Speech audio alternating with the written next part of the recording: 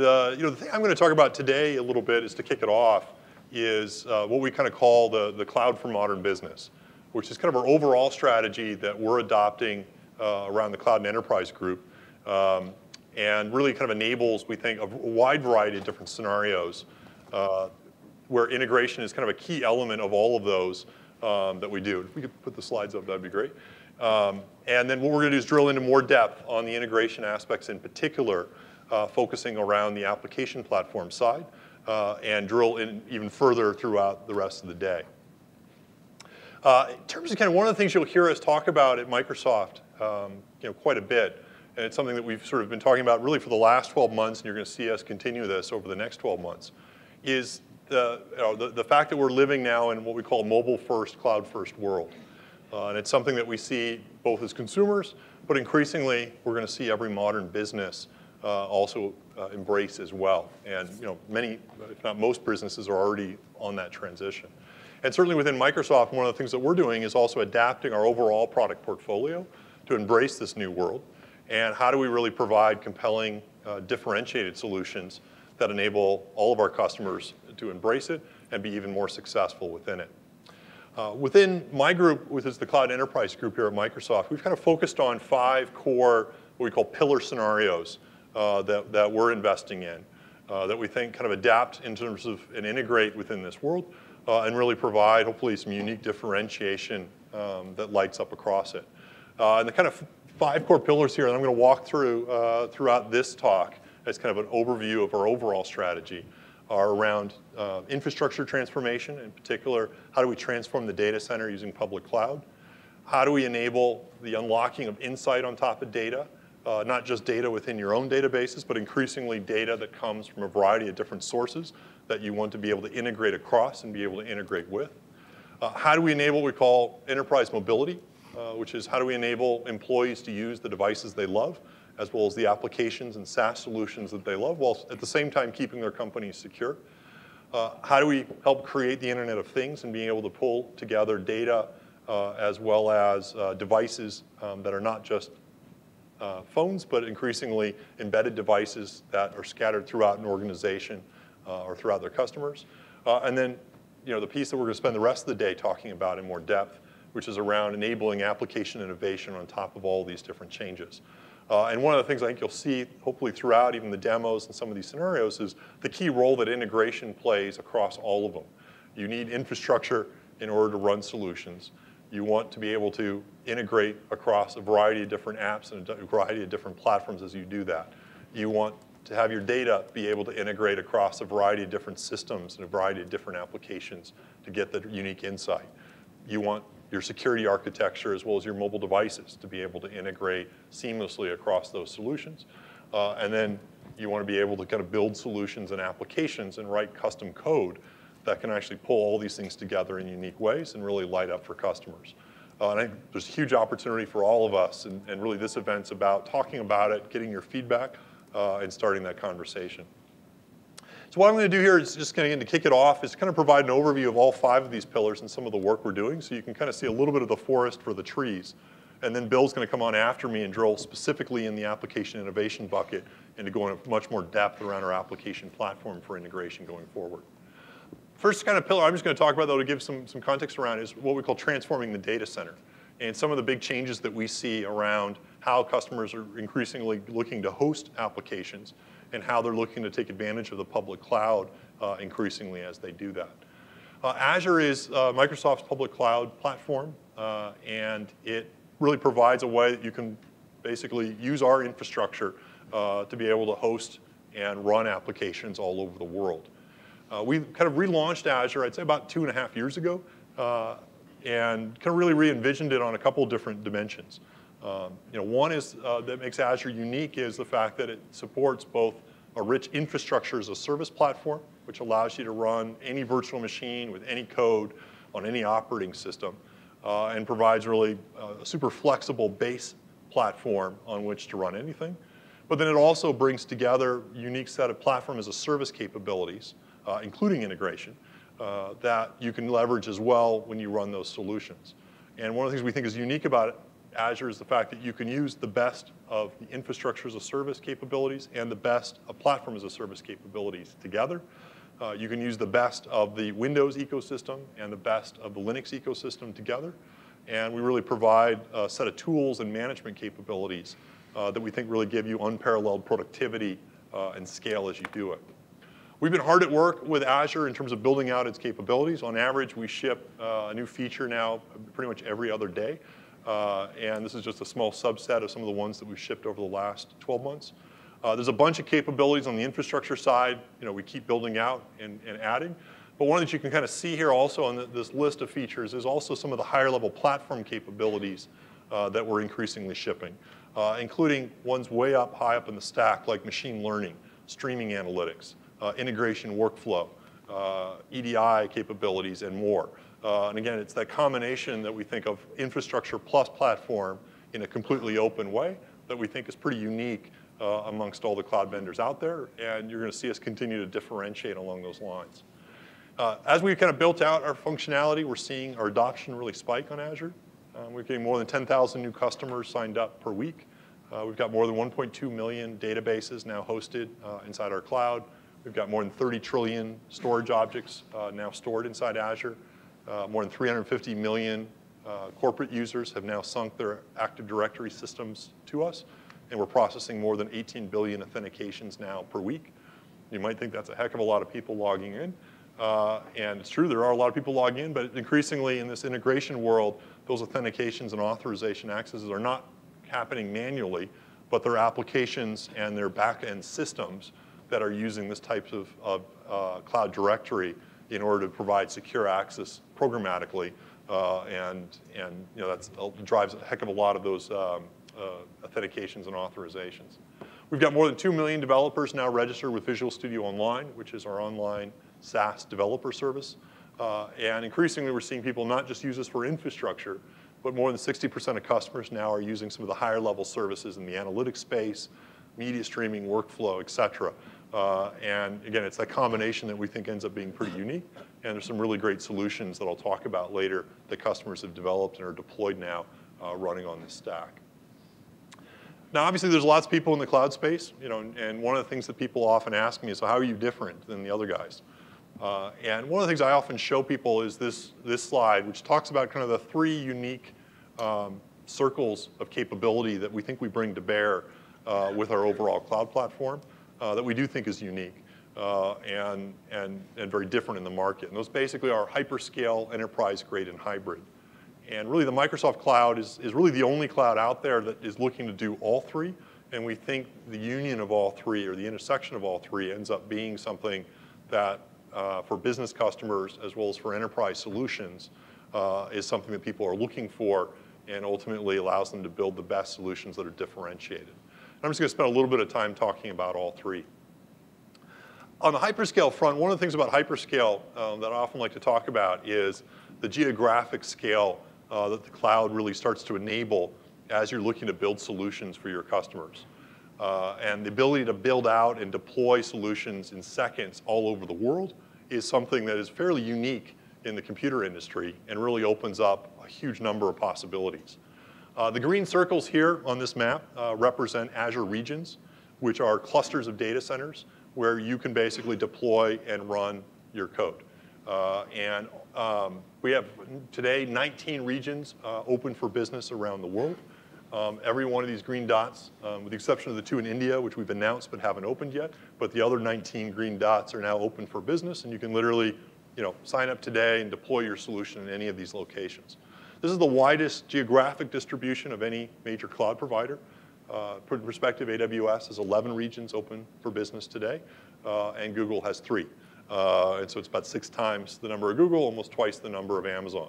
We allow you to basically, the other thing that we, we do, which is kind of nice, is for each of the major geopolitical entities, we try to make sure that we have two regions that are in there that are at least 600 miles apart, so that in the event of a natural disaster, an earthquake, a flood, or something that takes out an entire area, uh, you know that your solutions can run without having, having to migrate the data outside of that country or that region um, which is something that for a whole bunch of customers is obviously top of mind uh, and really key from a, a data sovereignty perspective. Uh, we also provide um, uh, a wide range of solutions, you know, including for government and public sector. Uh, and so for people that have requirements around um, uh, security and compliance, which we'll talk about later, uh, we have some of the widest um, variety of, of standard support out there. You know, what makes each of the regions impressive is not just the sheer number of them, but also the size of them. Uh, each of our data center buildings um, for the data centers that we build are roughly about a football field in size, uh, roughly enough space to park two jumbo jets within. This is a feature we try not to take advantage of, but uh, it's good to know that it's an option uh, if this cloud thing doesn't work out. Um, and then basically the way we build our data center regions is we typically have, you know, we have multiple of them sitting side by side. So for our, our latest generation of data centers, we design with space so that we can put 16 of these data center buildings next to each other, um, which is basically enough space to store 600,000 servers uh, in each region. And remember, we have 19 of them around the world. And you know, we think you know, this really provides unprecedented scale um, and gives you the ability that you can deploy solutions with confidence and scale them up and scale them down pretty much at will anywhere around the world. Uh, and that ability to have this type of compute, pay by the minute, uh, and not have any upfront costs or any termination fees, really transforms how people ultimately build solutions and the types of things you can do with it. You know, one of the things that people often ask me is, okay, that's great, but uh, you know, I, I don't work for a consumer startup. I'm not building the next Facebook. What could I possibly need all of that compute resources um, for? And you know, I, whole bunch of customers I can talk about. I'm just going to talk about three because uh, I think there's some, some good customer stories about how enterprise customers are taking advantage of this enterprise scale capability. Um, one of our customers here is Milliman. Uh, it's been actually, they've been on Azure uh, almost from the beginning. Uh, and it's, I think it's a great story in the sense of it's a customer that you know, 10 years ago you wouldn't have ever thought of as a software company. Uh, they were formed, I think, in 1946. Uh, they're an actuarial life insurance um, consulting firm uh, that provide actuarial services to like life insurance companies and other financial institutions. And what they basically built out is increasingly moving to the model where they can provide software as a service capabilities to their enterprise customers so that they can do richer modeling, risk analysis, as well as portfolio analysis um, to those firms. Uh, and increasingly, you can think of them actually as more and more of a software company as opposed to an actuarial company in terms of how they deliver their services and how they're driving their revenue. What's cool about it is they're able to use the cloud so that when a customer says at the end of, you know, has a, signs up with a contract and says, every night I want you to look at my portfolio and understand how exposed am I to risk, uh, they basically use the cloud to basically take that portfolio and do billions of transactions overnight, analyzing and doing Monte Carlo simulations in terms of risk and being able to provide before the market opens to that firm here's how you're exposed, here's how you should best hedge, and here's, here's what you need to think about in terms of protecting uh, your, your investment in your portfolio. And what's cool about it is they're able to avoid ever having to buy a single server. Um, they're able to basically sign up an infinite amount of business because they don't, they're never constrained in terms of capacity.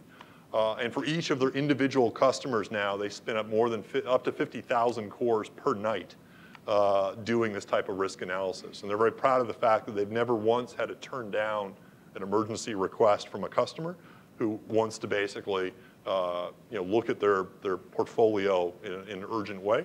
Uh, and you know, they're able to do it anywhere around the world, meet all those data sovereignty needs, and literally spin up and spin down and pay only for the minutes of the compute that they actually need. Carsales is kind of another example in a completely different geography. This is a, a Australian-based company that's um, uh, traded publicly. Uh, they do, I think, over 18 billion classified ads in Australia every month, uh, or uh, impressions every month, uh, and they're expanding around the world. And they're basically uh, adopted the cloud and obviously adopted Azure in order to do it. And they're seeing some really amazing kind of results from it you know, one of the things that they realized um, pretty quickly is they want a cloud that can go everywhere and that can scale up to handle 18 billion impressions. But the other interesting thing about it was they realized very quickly um, as they looked at their traffic uh, that you know, they don't actually need that infrastructure to handle 18 billion impressions 24-7 throughout the day. Uh, it turns out in Australia, people don't buy cars in the morning, they buy them all in the evening. Uh, and what they found in their traffic is that their peak period is typically in the, in the early evening time frame. And their morning period is kind of a trough period where they don't actually need much capacity. And so they basically, as part of moving to the cloud, implemented an auto-scaling capability so that in the morning, their site runs on six servers. uh, and in the evening it runs on 98 servers. Uh, and they basically scale up and scale down based on the capacity they need. Uh, and I was with the, the CIO uh, just about four weeks ago, and he was telling a great story where he said basically by moving to the cloud, they chopped an entire zero off of their IT budget uh, in terms because they just they didn't need these servers. And that's something also as we kind of look increasingly even at enterprise scenarios. If you actually measure what does your peak to trough period look like, um, you know most organizations can save and cut their infrastructure often by half or more uh, as you actually look at what is the real utilization of your servers actually running at. Uh, and we think, you know, again, this type of dynamic hyperscale capability ends up being a big game changer uh, for people that are looking to actually save money, um, you know, or in the case of Milliman, obviously, take advantage of new scenarios.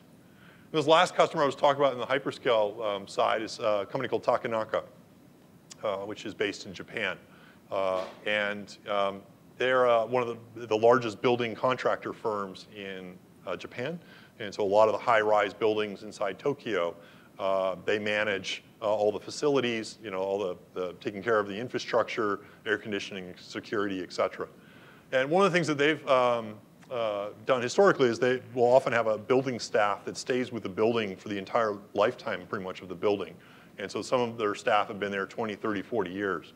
What they're finding is that staff is increasingly retiring, and because the overall workforce is actually shrinking, it's often hard to replace them. And a lot of institutional knowledge ends up being lost when those people retire.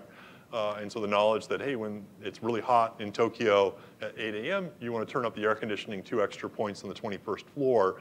In the past was all human knowledge. And again, that human knowledge is hard, to preserve. And you know, when it retires, it, it, retires with it. One of the things that they're doing is they're embracing Internet of Things.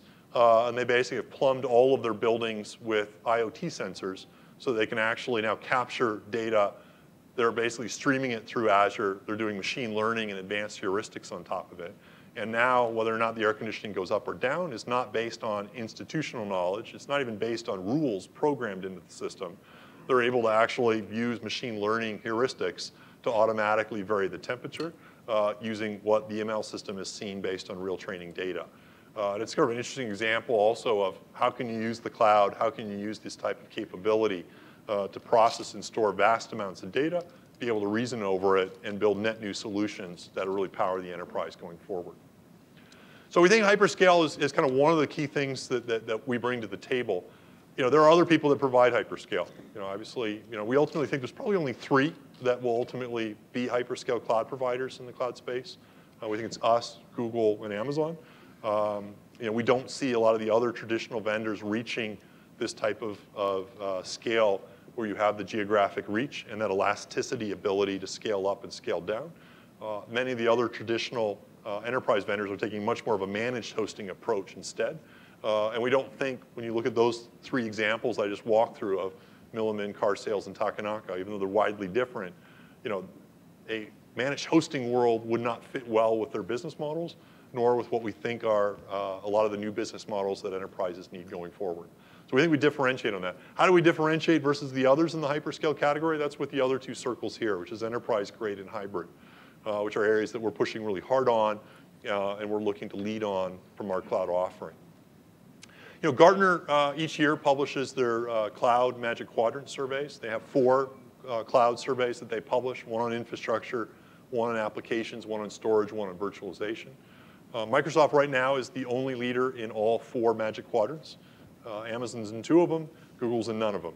Uh, and you know, this is something we've kind of invested heavily in in terms of the capabilities to really be enterprise grade and to provide the type of enterprise promises that customers expect.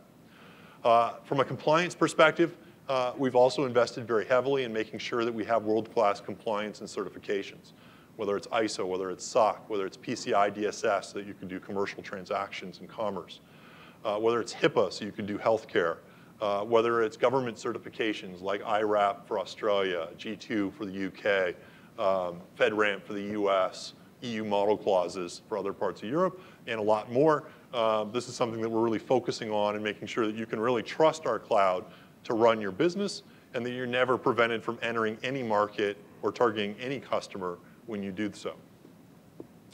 We'll also spend a lot of time, you'll see us kind of even in the next three weeks, get dramatically better in terms of the performance guarantees that we're able to offer customers when they run their solutions.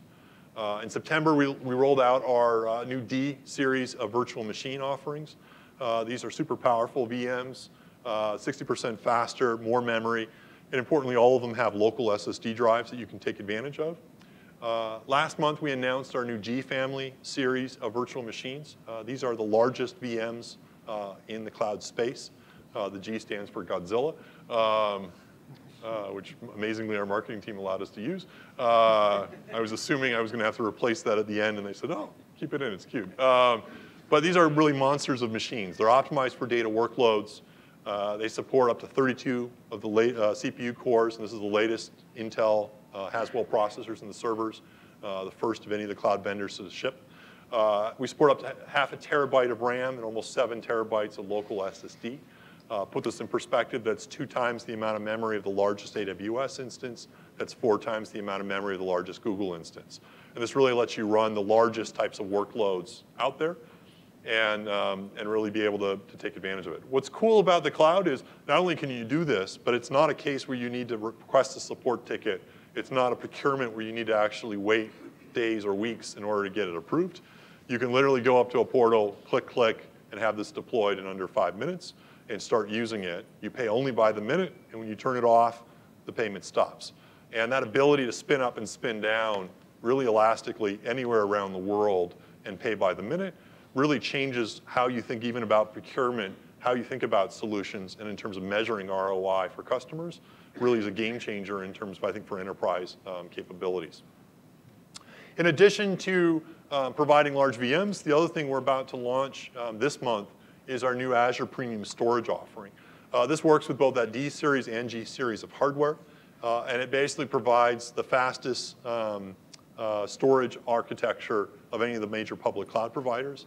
Uh, we support up to 32 terabytes of storage per virtual machine now that you can mount. It's, this is durable, guaranteed, triple replicated storage on each write. Uh, it supports more than 50,000 IOPS per VM, uh, and it supports less than one millisecond read latency. Uh, and so now you can basically, again, spin this up, attach it, literally in two or three minutes, have a virtual machine up and running of any size anywhere in the world, and be able to run the most intensive, demanding workloads on top of it. You know, these are a couple of customers um, on, the, uh, on the enterprise grade kind of capability that are already betting on this type of technology today. Uh, GE Healthcare in the healthcare space is using Azure uh, to store, you know, uh, to work better with hospitals, to do better patient care, uh, as well as to kind of manage instruments even better. Uh, DataStax is a company um, that is uh, a great startup that's pro providing Cassandra-based services to, to, enterprise customers. Uh, they're working with First American Financial um, that does uh, titles uh, for mortgages and property here in the US. Um, they're actually putting together a solution with them where they can store more than 18 billion title documents um, for every address and every property in the entire United States, and basically providing really innovative service that allows customers to look up, you know, what happened in their house 40 years ago, uh, and actually see all the title information and title ownership kind of capabilities, and be able to do that at split-second speeds. Uh, and BDO is one of the largest uh, financial auditors and financial firms in Australia, and they're basically providing full financial services to all their customers. Uh, and you know, one of the things that, that the reason they bet on Azure is the fact that we now have these two Azure regions open in Australia, uh, and they can basically promise their customer your data never leaves Australia, uh, and it's safe with Microsoft. And they said that pretty, makes, pretty much makes all of their customers feel uh, comfortable that it's cloud-based um, and fine to use. The other thing that we're sort of different on is the fact that we really believe in hybrid, and we're really looking to enable hybrid solutions that can span across cloud and on premises. And right now we're the only cloud provider that actually lets you run software uh, that we build in an on-premise facility. Uh, and that ability to kind of bridge existing data centers, existing service provider environments with the cloud, uh, we think is something that pretty much every enterprise needs and wants going forward. Uh, we provide a really easy way now that you can pretty much connect any server and any data center out there to the cloud. Um, whether it's with storage, whether it's for backup, whether it's for disaster recovery, whether it's identity management, networking, or more. Um, we provide kind of a rich set of solutions that you can take advantage of in order to do so. Um, earlier this year, we kind of completed an acquisition of a company called InMage uh, that provides disaster recovery capabilities. Uh, it allows you to do it not only with Hyper-V, but it also works with VMware, it works with bare metal servers, whether it's Linux or Windows, uh, and allows you to have a complete end-to-end DR stack for your solutions. Our tiered storage solutions with things like StorSimple um, allow you to provide local hybrid storage. So in other words, a device that you put in your on-premises facility. Uh, it allows, you know, basically hyper-fast storage access that can then spill over to the cloud and take advantage of the cloud as well if you actually uh, want to do deep archiving of storage or other types of capabilities as well. A lot of solutions you can take advantage of. Beyond just connecting on-premise facilities to the cloud, the other thing that we're focusing on is how do we provide a consistent architecture that allows you to implement solutions that can run in the cloud or just run on-prem. It doesn't require you to go to the cloud unless you want to. Uh, and one of the things that we launched, um, uh, and it's now available for purchase, is what we call the Cloud Platform System, uh, which allows you to basically have an integrated software and hardware stack that provides the full Azure Management Portal experience, as well as our core Azure services uh, that runs inside your cloud, can run completely disconnected, uh, doesn't require any touch from us, uh, and it allows you know, any enterprise uh, even the most conservative enterprises, and we have defense contractors as well as heavily regulated banks already taking advantage of this capability um, to basically run the, uh, a cloud-based architecture inside their data centers and know that they have the resilience as well as the capability in the future to go to public cloud if they want to, um, or stay entirely private cloud um, going forward.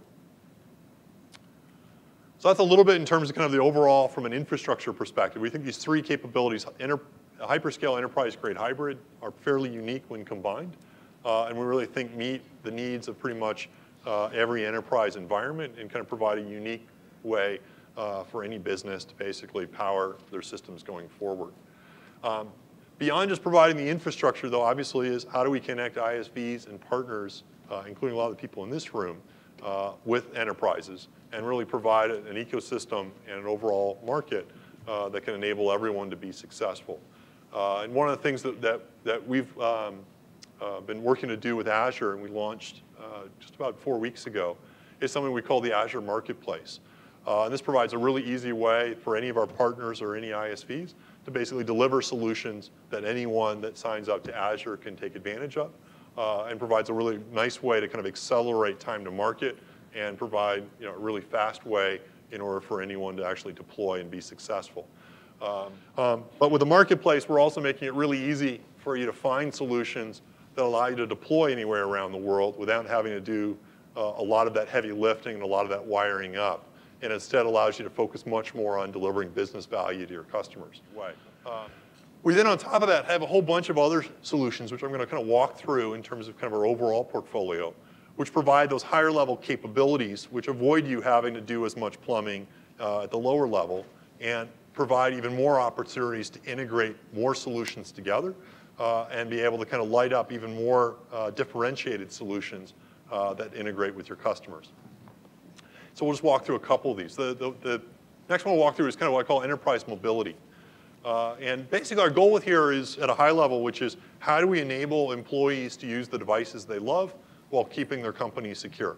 Uh, and um, you know, increasingly we're seeing people that want to use their own devices that they bring to work, or they want to use devices uh, that you know, that, that they want to use. Uh, that, that, you know, the company provides an option for them to pick from multiple, and you know, they say, hey, I, I don't want to use an old BlackBerry. I want to use a modern phone uh, as an example, or I want to use a specific laptop or a specific device.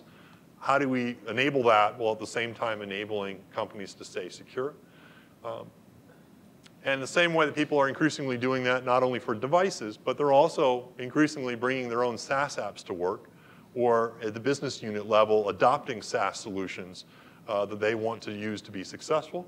Uh, and again, how does IT not get in the way, but really enable this and make their employees more successful uh, and make IT, frankly, more loved as they do it. One of the things that we've kind of built out um, that we think is kind of compelling is this thing we call the Enterprise Mobility Suite that we launched about seven months ago, and we're seeing some really great success with. And one of the things it does is it basically provides a whole bunch of solutions that enable employees uh, to be much more um, uh, mobile and much more successful in terms of doing it. It provides full device management support, Uh, it provides identity management capabilities, um, including the ability to log in to almost 2,500 different SaaS applications out there and integrate across them uh, in a completely secure way. Uh, it supports um, uh, rights management, so you can actually encrypt data and store it securely. And it also supports the ability for you to stand up client applications that run in our cloud that you can then stream to any mobile device. And what's great is it pretty much works on any device and across any type of application, which makes it really easy to integrate inside any enterprise.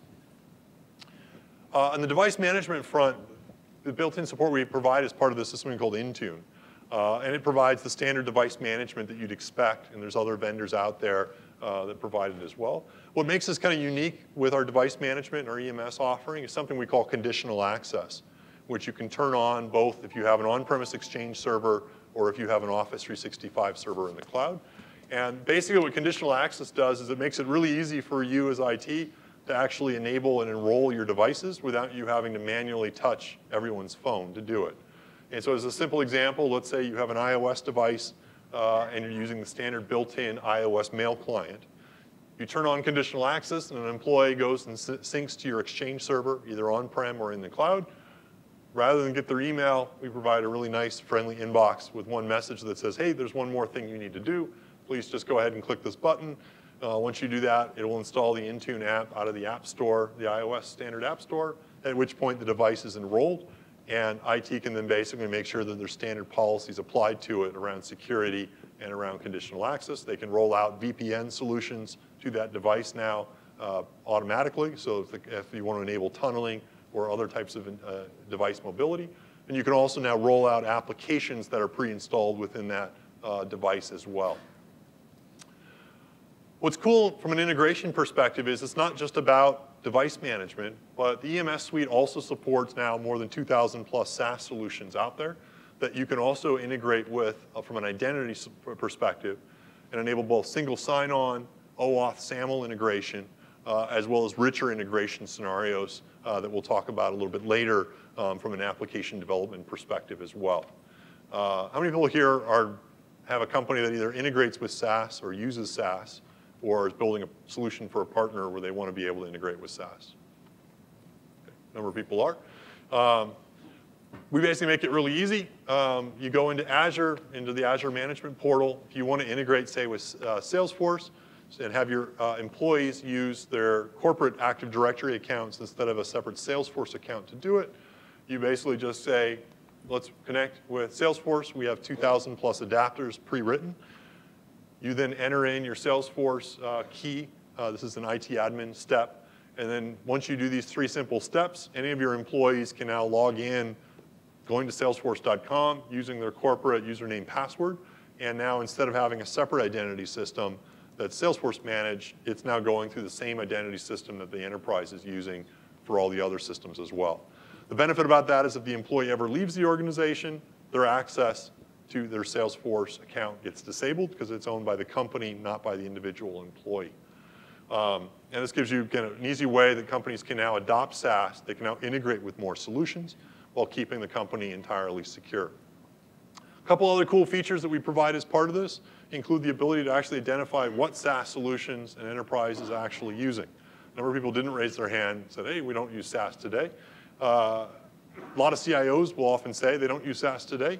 Um, one of the tools that we've kind of shipped, which is kind of eye-opening, is the ability to either download your network logs, uh, your firewall logs, and actually look to see what SaaS apps your employees are using, uh, or you can turn on a capability inside System Center uh, client uh, management tools to actually identify it as well.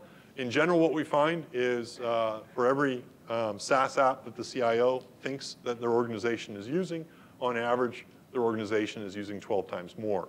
Uh, and so if they think they're using one, it turns out when they audit it, they're usually using 12. Uh, if they think they're using 10, they're usually using closer to 120. Uh, and that's because more and more business units are kind of adopting SaaS, they're adopting solutions, and they're not bothering to tell IT. Uh, and there's no easy way to kind of enforce that type of uh, security and that type of um, su uh, support. This makes it really easy that you can both identify those cases, and without shutting them off, you can instead integrate uh, a single sign-on solution that works with your existing security model uh, and makes you secure. What's cool about this is, of course, once you do that, you then open up a whole bunch more integration capabilities because you can now not only simply enable it from a security perspective, but you can actually access that data, you can analyze that data, and you can start to stitch together these different systems into compelling solutions with custom code that integrates not only with SaaS, but also with your on-premise facilities. And that's something we're going to talk more about as part of our application platform in terms of some of the tools that we're doing to enable that. Uh, but identity integration is kind of one of the key elements that facilitates and makes that possible. Other cool thing we're doing from a security perspective on the integration front is providing machine learning heuristics built into the system so that we can look for suspicious activity. How many people have ever been phished or have been, had their company undertaken a phishing attack? Either everyone's very bold or everyone is very private about their security or everyone is very tired. Um, but you know, in general, we see phishing attacks as probably one of the most common ways that people are attacking uh, organizations out there. Uh, pretty much every organization on the planet has been phished. Uh, so if you, if you don't know that you've been phished, guess what? You probably have been and you just don't know it. Um, and you know, one of the things that I think from an integration challenge perspective that people are struggling with is how do I adopt SaaS? How do I adopt mobile devices? How do I enable this sort of mobility of applications as well as experiences, but keep things secure? And so one of the things that we've done um, uh, within our Azure Active Directory system, which enables the sign-on with SaaS, is built in this machine learning heuristics where we can actually look at your user login behavior and actually identify whether or not someone has had their, their, their, credentials compromised or the device compromised. And so if we see, for example, you logged in here in Redmond to a particular application and then an hour later you logged in in Romania or Thailand into another application, uh, that is usually a sign of either telepathic capability or possibly that your credentials have been stolen. Uh, and our system will automatically detect it, notify IT, and you can set up policies to enforce things like two-factor authentication as a way to kind of basically ensure that um, you prevent that and you can basically monitor it. Uh, we also just announced two weeks ago uh, an acquisition of another security company that will be rolling into AD on-prem, which does the same thing here for all your internal Active Directory resources. And the ability now to look at any of the apps that you run on premises as well as any of the SaaS apps that you integrate with the cloud and look for abnormal behavior amongst your users, you know, ends up making everything much more secure. And again opens up a lot more integration capabilities um, for you to customize and provide custom integration solutions.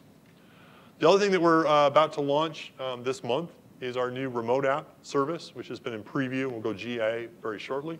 Uh, it basically allows you to host any type of client application or any type of application for that matter in the cloud and also provide a way that you can enable mobile users to access it. How many people here have a Windows client application inside their organization? Great.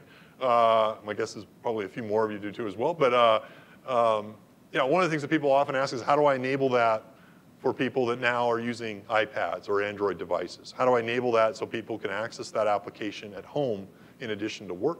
Uh, and how, do I, how can I do that in a secure way without having to open up my firewall? Uh, and one of the things we do with this remote app service is we allow you now to host Windows client applications inside Azure. Uh, you can optionally connect those client applications back to your network in a secure fashion. And now instead of opening your network up to thousands of users, you're opening it up just to our cloud. And then you can basically stream those applications to any device.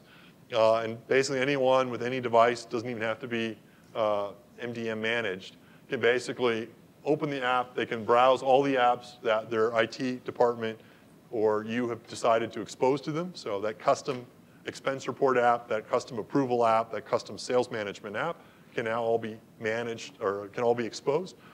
You click, and then you basically are remoted into it and managed it again on any device anywhere around the world.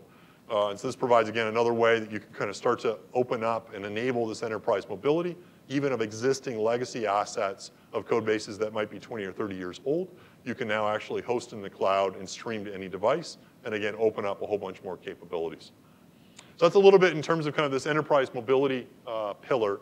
Uh, and again, we think having that kind of security model, having that uh, device model, having that access model that lets you connect to and use any app on any device anywhere around the world, you know, is another core enabler uh, of not only enterprises, but a building block upon which we can build integration solutions on top of. Kind of quickly going through the rest of the pillars, uh, I'll talk about unlocking insight on any data. Um, you know, increasingly we're seeing people that, that want to be able to get insight on top of data. They don't just want to store data for operational purposes, but they increasingly want to be able to also get insight on top of it. And we've obviously focused very heavily in the past with SQL Server in terms of having a great operational relational store.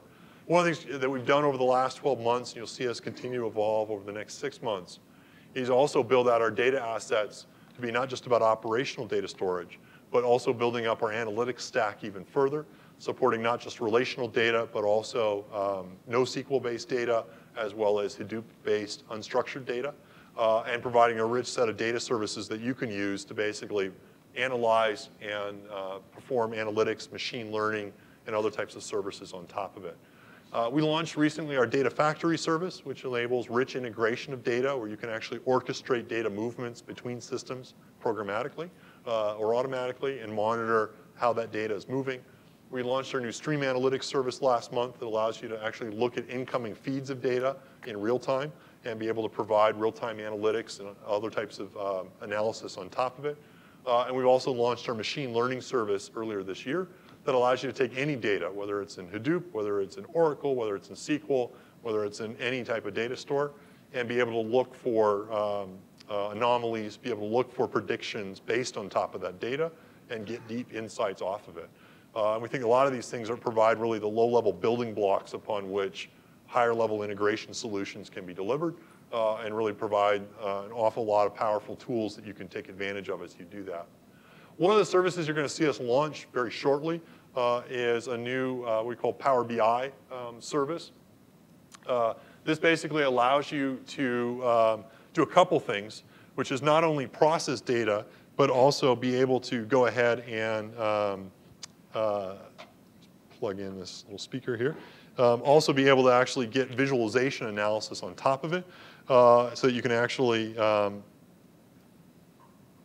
uh, analyze and understand that data at a deeper level as well. I'm going to play a little video that hopefully will show off this experience a little bit, and then I'll do a demo of it as well. Um, one of the things we're trying to enable with this Power BI solution is the ability for you to basically, uh, you know, literally in minutes, be able to stand up and provide a rich visualization capability for any solution that you want to roll out to. Uh, so it allows. Let me show just a quick video of this in action uh, to give you kind of a sense of what this looks like from a SaaS perspective. Oh, I'm not sure if, there we go. So this basically, we have a dashboard view that you can basically um, take advantage of. You can very easily stand up a dashboard on top of any data. You can see here, you can integrate with any SaaS app. So if I want to connect with Salesforce, just type in your Salesforce credentials. We do an OAuth handshake against it. And then basically we can import and suck in any of your Salesforce data, provide a rich visualization dashboard on top of it. We support the ability to take any of those data sources and provide natural language query against it. So this is live Salesforce data. You can basically uh, you know, sort and filter on for any of your users. You can basically drill into and analyze why is August sales down. Uh, you can sort it by industry and see, hey, the problem's in the utility sector. Uh, you can filter across all of it. And if you want to, you can then pin any of this data to your operational dashboard so that you can actually see real-time updates across it. This works in a browser. We also have mobile device apps uh, you can take advantage of. We support push notifications so that you can actually set up alerts so if any of the data ever changes. Uh, and the beauty is it lets you stand up very, very quickly, work with any type of data backend, and any of those data sources, not only do we provide out of the box, but you can now build those types of data sources as well and expose them for your users to have that type of rich BI solution on top of uh, in addition. You know, this is sort of an example of a dashboard. Uh, this is sort of the default sample dashboard that we provide with the product, uh, just to kind of prove that the video is not smoke and mirrors and kind of try to illustrate some of the power of it. If I wanted to connect to Salesforce, I can literally go ahead and say, let's connect. I have a bunch of adapters here. Let me just sort of connect to Salesforce data. Again, I can do kind of a um,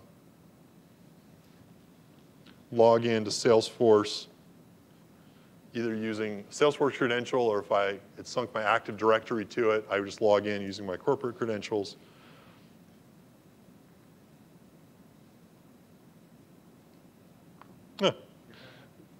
That's great. And so if I can find my phone, they have apparently emailed me a login, which they did not do last night. Uh, uh, let me quickly find my phone. The great thing about security in this modern world is sometimes in demos, they suspect that if you do the same thing eight times that you must actually be a hacker, which in my day job I really appreciate, in my demo job I hate. Um, but here's the good news, the code, just so that everyone can see it on the big screen. Uh, just proving it's real. Look at that. Uh, you can see basically now that I've uh, uh, convinced Salesforce that I am actually real, uh, it's basically saying, okay, you're connecting to your Salesforce account. Are you a manager are you a sales rep? And so you can basically choose it. Uh, and I'm going to say I'm a sales manager. Uh, and basically what this is now doing, you can see this in the top right, is importing data from Salesforce using my Salesforce account. If I click on this tab, you can see basically this is the one-time loading uh, as it's actually uh, populating and pulling in this data. It's created a custom dashboard uh, optimized for a Salesforce experience. And now I have a full BI solution on top of my actual Salesforce account, uh, all dynamically populated, even with the security code in between. And for any of these things, I can now actually drill into individual reports.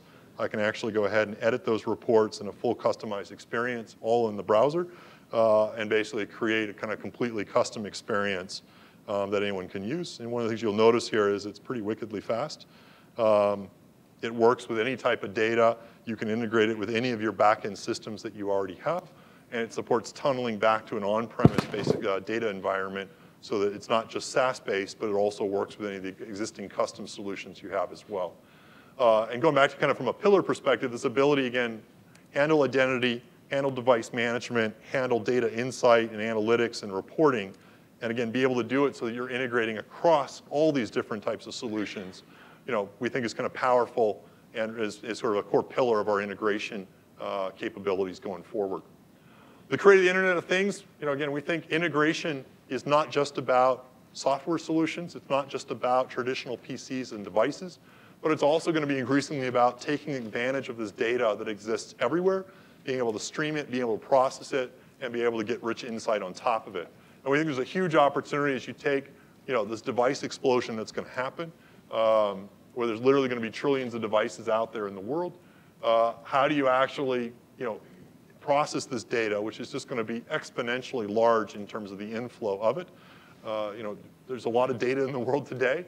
Uh, there's actually a 41% annual compounded increase in that data going on right now, uh, which is mind-blowing in terms of the amount of data that'll be out there. You're going to need a hyperscale cloud in order to store it. You're going to need a hyperscale cloud in order to process it. And a lot of those data capabilities I just walked through in terms of unlocking insight from data you're going to want to be able to have that capability in order to provide that type of reasoning and be able to get those types of insights on top of it. And so we're providing as part of our solution with Azure, a full solution that lets you not only store the data, not only process the data, but be able to get that insights and be able to manage that data as well. Which brings us to kind of our last pillar and the one that we're going to spend the rest of the day going really deep on, which is enabling application innovation and the ability not only to take advantage of a lot of these building block services that we've built, but really provide the ability that you can actually go much further and build your own custom solutions, your own custom logic that actually integrates across all of these and really enables truly differentiated uh, solutions um, that you know, are custom to whatever environment that you want to target and that really deliver the most value. Uh, we provide a bunch of building blocks that you know, I've talked about already today with Azure. Uh, we've got with Visual Studio, uh, a super rich development tool environment. With .NET, we obviously have a really rich uh, language environment. Uh, but we're also supporting other uh, languages and environments as well uh, with Azure and with our products, um, whether it's Java, whether it's Ruby, whether it's Node, whether it's Python, whether it's PHP. You know, we have SDKs for all of those, and we, we are looking to make sure that not only is Visual Studio and .NET best in class, but at the same time, we want to make sure that we're, we provide the full breadth of support so that we can integrate and use anything. Uh, and then with our Office 365 suite, we are looking to also provide a rich set of applications and APIs that we think will also be incredibly important for uh, integration going forward. So that, for example, you could build a solution that takes IoT data, that takes calendar data, that takes data out of Salesforce or Dynamics, that takes data out of your on-premise system, and you can actually mash all of that together and provide kind of automated workflows as well as automated solutions that span them.